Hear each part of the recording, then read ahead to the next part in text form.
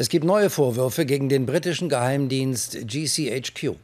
Wie das Nachrichtenmagazin Der Spiegel berichtet, soll er gezielt die Reservierungssysteme von weltweit mehr als 350 Hotels überwachen, in denen häufig Regierungsvertreter zu Gast sind.